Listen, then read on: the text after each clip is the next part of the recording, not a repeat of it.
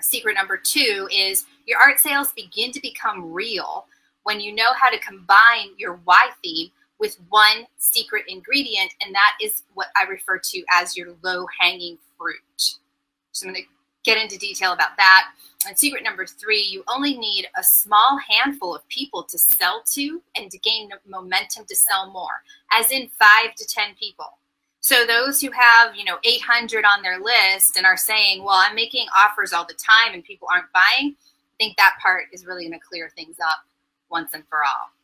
So um, just a quick vocabulary note. Um, the word offer. So when I say offer, what I'm referring to is anything you're selling in your business. And what that means is um, if you're selling photography package for brides and a photography package for families and a photography package for children, and then you're also doing, um, you're also selling your own original prints, those are four separate offers.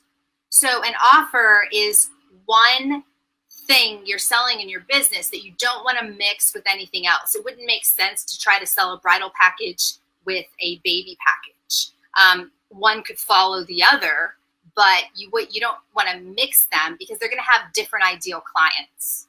So keeping in mind, that's what I'm referring to when I say offer. So with that said, I can just dive right in. Um, so secret number one, you can make money selling your art online now, whether you've sold online before or not, as long as you know what your why theme is.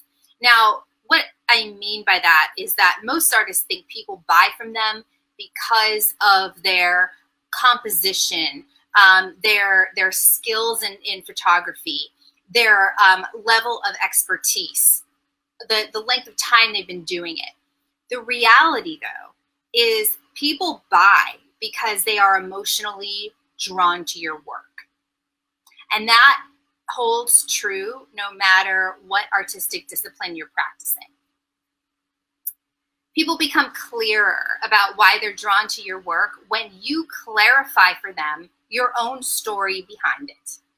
So, this is true for every business, especially artistic businesses, but literally every business. And it's probably the biggest missing link that I'd say, well, American Express Open actually did a study on um, why over 80% of small businesses online and off in the US alone fail every single year.